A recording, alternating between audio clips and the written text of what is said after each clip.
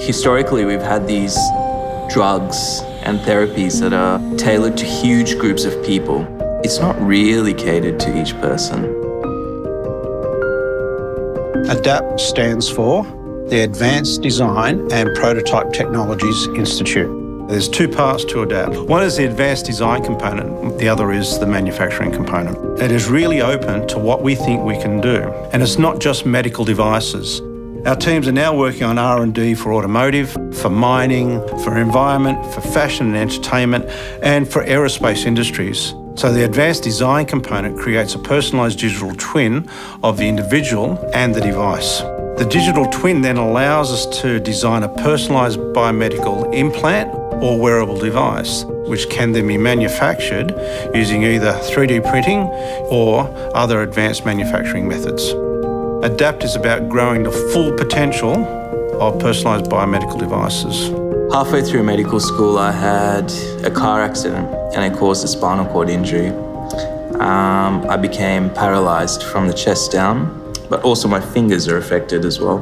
Dinesh is a spinal cord injured patient um, and also a researcher and a doctor. I finished medical school. I'm working as a doctor at the moment, but also a lecturer and an adjunct research fellow at Griffith. My dirty little secret is that I want to cure myself one day. So what Dinesh and Claudio are doing is they're creating a personalised digital twin of Dinesh. Digital twins is a representation of a person in a computer. Okay? That means the digital twin will have your bones, your muscles, your joints, and so on. Now, they're using that digital twin model to control how to stimulate Dinesh's muscles in rehabilitation. We are saying we want to achieve a desired movement. How do I stimulate muscles in the optimal way to achieve that movement? And personalization in this context is essential. Personalized treatment allows us to deliver precision medicine. Sky's the limit.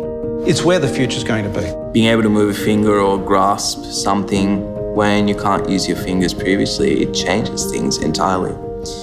And with these type of therapies, that's how I hope that we can change the lives of people. And I'm confident that we'll get there.